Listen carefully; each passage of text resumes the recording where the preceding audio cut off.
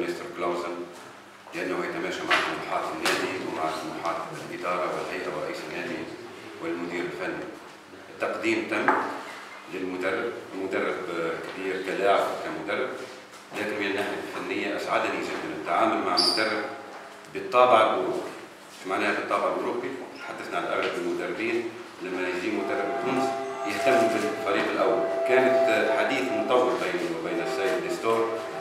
اهتمامنا كما عمل في سويسرا وفي أوروبا بالقاعدة الأوروبية انه يتعامل مع النخبه الأمال الأواسط الأصاغر باش نكونوا ملمين بشبان النادي الصفاقسي لما مدرب أكابر وهذه موجود في كل أوروبا العمل الجديد لمدرب الاكابر شيف ترينر هو المدرب اللي يشوف كل الأصناف الشبان ومن أصناف الشبان نجم ندعمه في الفريق الأول.